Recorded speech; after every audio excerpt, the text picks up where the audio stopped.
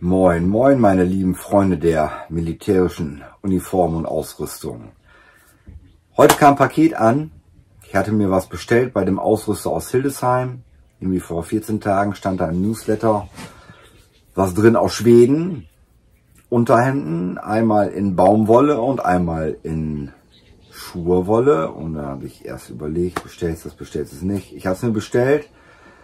Heute angekommen, gleich ausgepackt und anprobiert. Ja. Und das Baumwollteil habe ich jetzt an. Das sitzt richtig schön angenehm. Passt genau. Größe 4850. Kurze Knopfleiste. Ein Rundkragenschnitt. Sehr angenehm. Ärmel habe ich schon hochgekrempelt, weil es einfach zu warm ist jetzt. Aber zeige ich euch jetzt eben, wie das aussieht. So der Ärmelabschluss, damit wir das auch gesehen haben. Ganz klassisch verschlossen mit einem Knopf. Nicht zum Einstellen, nur eine Weite.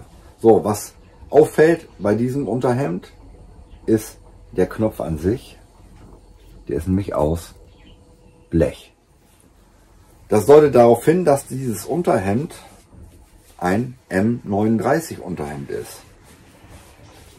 Die nachfolgenden Unterhemden hatten nämlich einen Plastikknopf, den schauen wir uns jetzt gleich an, weil ich habe ja hier noch das gleiche Unterhemd in Schurwolle liegen und dieses Hemd hat den Plastikknopf. Sonst ist alles identisch, der Schnitt ist identisch, nur die Knöpfe sind halt anders ausgeführt und das ganze Teil ist aus Schurwolle. Der Ärmelabschluss ist auch etwas anders gehalten. Hier haben wir nämlich so ein Bündchen und hier ist so eine Schlaufe angenäht für den Daumen. Nicht schlecht gelöst. Ich bin mal gespannt, wie sich dieses Schurwollunterhemd im Wintertag schlägt. Ist auf jeden Fall sehr dünn gestrickt. Fühlt sich gut an vom Material her. Coole Sache. Wird sich zeigen. Ja, muss ich einfach zuschlagen.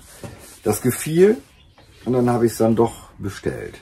Einmal in Wolle und einmal in der Baumwollversion. Kostenpunkt war, glaube ich, 10 Euro. Das andere 15 Euro. Jetzt kommt der Kater, Stippvisite. Hallo Gilbert. Na? Oh, schon wieder weg. Ja. Jetzt schauen wir uns noch mal just eben die Länge an von dem Hemd. Die Hemden sind richtig lang geschnitten. Auch wirklich passend für den Winter. Und auch, wie es in der Zeit halt so üblich war. Das neuere Hemd aus der Schurwolle, wie wir sehen, hat ungefähr, ja, ist sogar noch ein bisschen länger. So viel zu den beiden schwedischen Unterhemden. Einmal 40er Jahre Modell und das 60er Jahre Modell. Ich hoffe, euch hat der kleine Beitrag gefallen. Vielen Dank fürs Zuschauen. Bis die Tage. Macht's gut.